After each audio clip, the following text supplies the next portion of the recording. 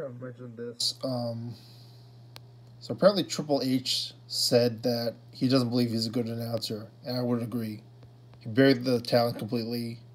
He bear he bears everyone whenever he does a promo since two thousand. He's very boring. He says the same stuff again. I think he's read the online criticism and realizes it, so it makes me think everything bad with WWE using Triple H is all Vince's idea. This is all my thoughts after the NWO, the Outsiders, and X Pac got inducted into the NWO, into the WWE Hall of Fame. Sorry, and we don't know what's going to go on now. Georgia Smith is celebrating the British Bulldogs Hall of Fame induction, even though there's no Hall of Fame.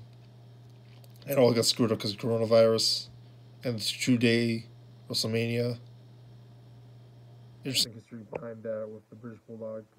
Rumors about the British Bulldog supposedly trying to be so he was supposed to be the fourth guy and third or fourth guy, sorry, I don't know which one, in the NWO Didn't happen.